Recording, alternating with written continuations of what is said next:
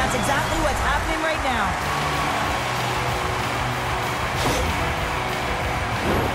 Well, he's in tight to the net, James, and he knows that he's not going to have much time or space to get it off, so he elects to use the snapshot and beats the goaltender.